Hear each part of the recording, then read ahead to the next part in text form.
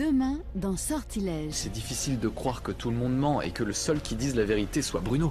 Peut-être qu'il y a une autre explication.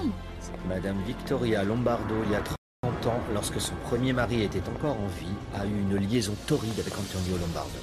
Laisse-moi rester ici avec toi, je te promets que je lui gênerai pas. D'ailleurs, personne ne se rendra compte de ma présence ici. Oui, bien sûr, à commencer par Raquel qui ne perd jamais une occasion de faire un scandale chaque fois qu'elle te voit. J'ai chassé Bruno de la maison. Tu aurais mis le temps. Et comment il a réagi? Il m'a rappelé ma promesse de divorcer d'avec Maria Rosset. J'ai déjà dit que tu ne devais en aucun cas céder aux exigences absurdes d'un d'un malade comme lui.